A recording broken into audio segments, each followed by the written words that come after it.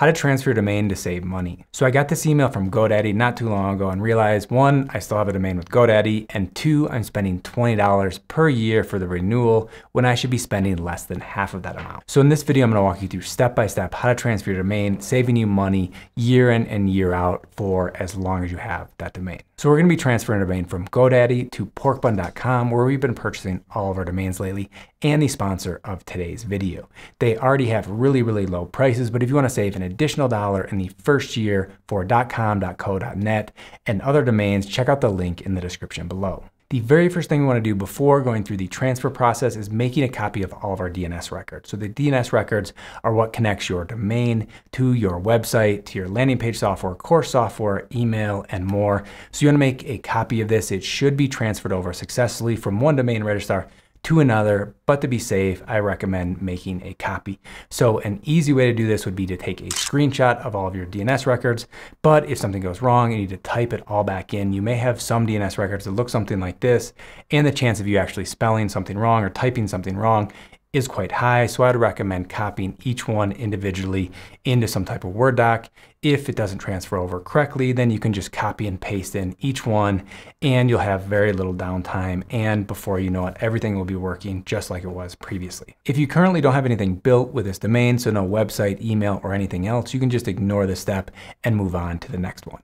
The next step in the process, let's go back to the domains and we need to essentially tell GoDaddy you know what, we're going to be transferring this somewhere else. So let me show you what this looks like. Okay, so we go to the domain and here, if we scroll down further, obviously this isn't gonna be up top, front and center. It's gonna be hidden a little bit, but if you scroll all the way down where it says additional settings, transfer domain away from GoDaddy.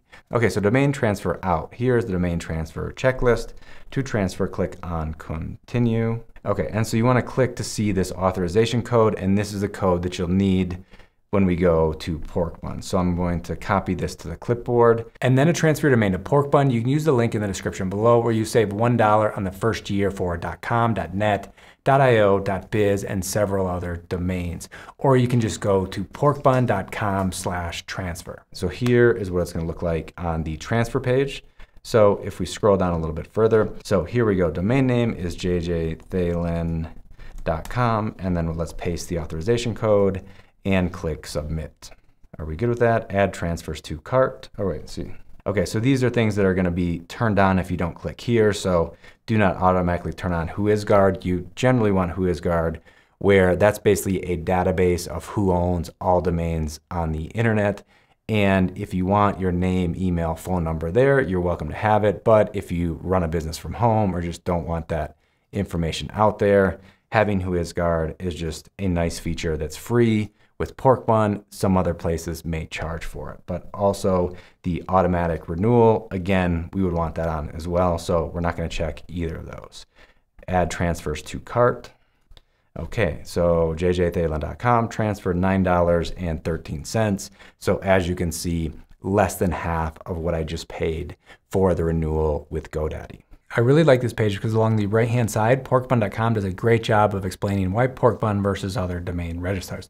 Obviously down below you have the price of 913, which is less than half of what I just paid to GoDaddy.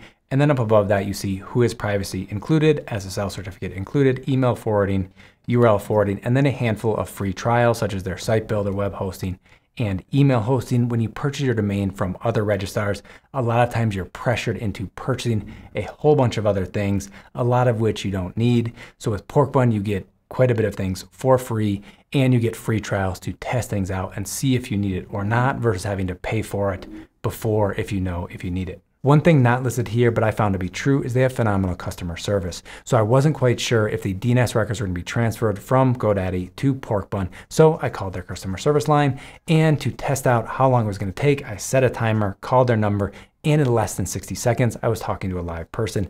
You're not gonna find that in a lot of other places. But you don't have to take my word for it. On porkbun.com's homepage, you can easily access thousands of other reviews and see what other people have to say about porkbun.com. One thing I almost forgot to mention is their maximum awesomeness, such as all the things you can find in their merch store. But let's continue with the transfer and click on continue to billing. And so here we go, everything's already saved. So I just need to click on pay. We have a handful of domains already with them.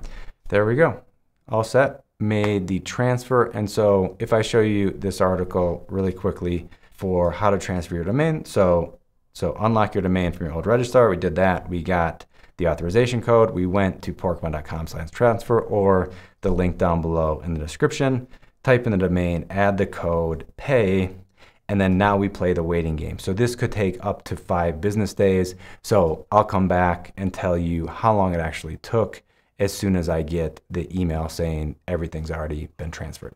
So the domain transfer is now complete. I got this email from Porkbun on May 26th around 11 p.m., which is about six days after originally putting in the domain transfer request. It was estimated to take about five days. Maybe that was five business days, which is essentially what it took. Now let's go check on the transfer by going to porkbun.com, clicking on account in the top right hand corner, and then clicking on domain management. These are the domains we currently have with porkbun.com, and you see down at the bottom jjthalen.com, and below that DNS. Let's click on that and view the DNS records. Okay, so here it says, oh no, your domain is not currently using our default name servers, and this functionality requires it.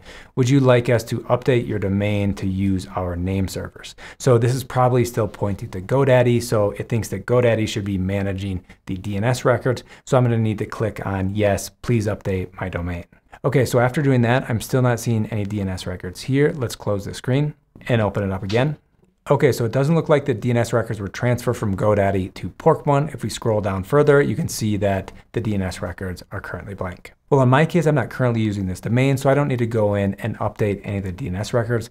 But if you have your website and email and everything connected to this domain you just transferred, you'll want to take all the DNS records that you made a copy of a little while ago and put them in to the DNS records here. And before you know it, your email, website, and everything else will be running just like before. If you want to see what the updated DNS records look like on Porkbun, I'm not going to go and all of them for jjthalen.com, but let's open up the DNS records for greater than enough. And here you can see the DNS records for this URL. So here's where you can add a DNS record. And if you scroll down further, you can see the current list of all the DNS records. If you need to edit them or delete any of them, you can do that along the right-hand side. That's how easy it is to transfer your domain, saving you a bunch of money in the long run. If you want to save an additional dollar when transferring your domain or purchasing a domain from porkbun.com, don't forget to use the link in the description below. If you want to see my tips for saving money when purchasing a domain, check out the video above. If you want to see how Porkbun compares to eight other domain registrars, check out the video below. Hope to see you in those and future videos. Bye bye.